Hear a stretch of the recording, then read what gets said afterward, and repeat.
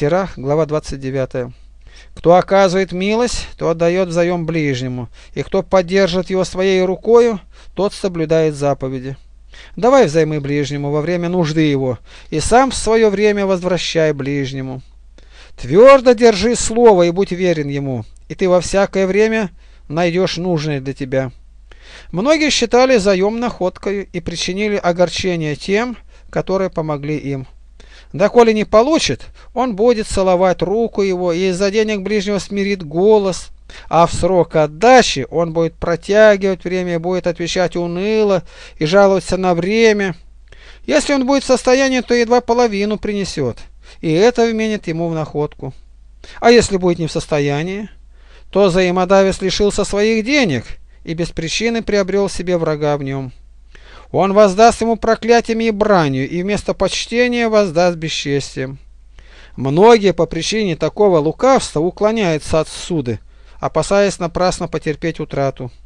Но к бедному ты будь снисходителен, и милостыню ему немедли. Ради заповеди помоги бедному, и в нужде его не отпускай его ни с чем.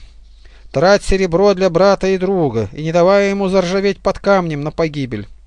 Располагай сокровищем твоим по заповедям Всевышнего, и оно принесет тебе более пользы, нежели золото. Заключи в кладовых твоих милостыню, и она избавит тебя от всякого несчастья. Лучше крепкого щита и твердого копья она защитит тебя против врага. Добрый человек поручится за ближнего, а потерявший стыд оставит его. Не забывай благодеяний поручителя, ибо он дал душу свою за тебя. Грешник расстроит состояние поручителя, и неблагодарный в душе оставит своего избавителя. Поручительство привело в разорение многих достаточных людей и пошатнуло их, как волна морская. Мужей могущественных изгнало из домов, и они блуждали между чужими народами. Грешник, принимающий на себя поручительство, ищущий корысти, впадет в тяжбу. Помогай ближнему по силе твоей и берегись, чтобы тебе не впасть в то же. Главная потребность для жизни – вода и хлеб, и одежда, и дом, прикрывающий наготу.